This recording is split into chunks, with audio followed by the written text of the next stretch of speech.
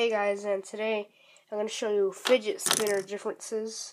This is the Walgreens one, and this is the cheap one from freaking flea markets. Let me show you the spins, and I will spin the American one first.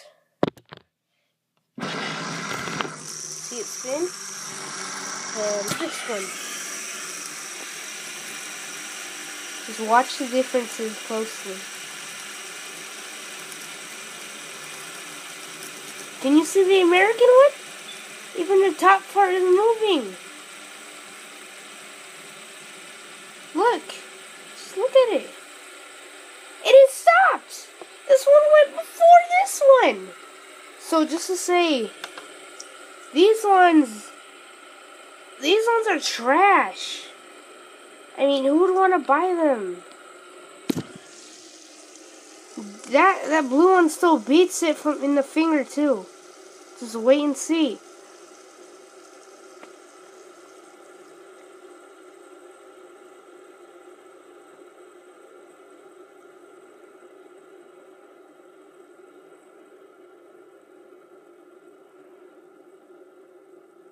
Boy!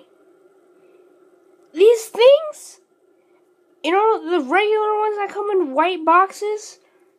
They rip you off. These are horrible. I'd rather say you buy the ones that don't have this cheap plastic. Look. Some somewhere down here, see? They even have those. These are even poorly made. Look.